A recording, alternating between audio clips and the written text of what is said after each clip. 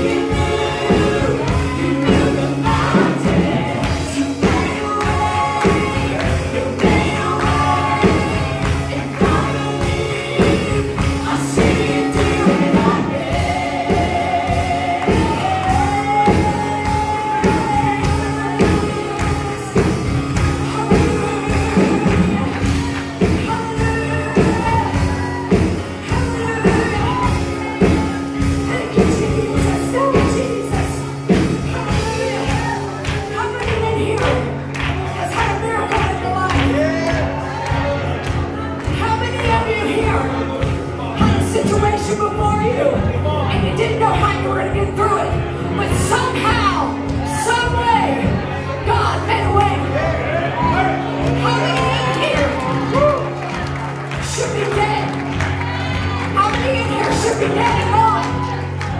How many in here has been healed of an addiction? How many in here has relapsed and God brought you back and saved you again and again and again? How many of you in here has been healed of cancer? How many in here has been healed of epilepsy? How many in here has faced divorce court, but God put you back together again and put love in your heart and save your family? Does anyone believe that He's a miracle